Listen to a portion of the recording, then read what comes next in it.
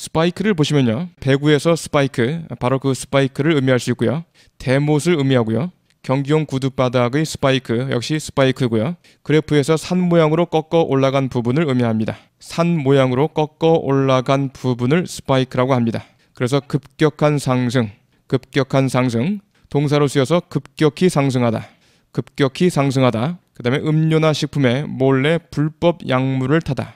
자 다시 한번요. 그래프 등에서 산 모양으로 꺾어 올라간 부분을 의미합니다. 그래서 급격한 상승, 급격히 상승하다. 음료나 식품에 몰래 불법 약물을 타다.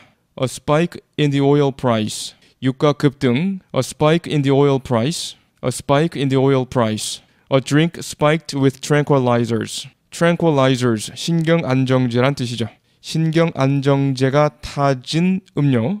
그래서 신경 안정제를 탄 음료.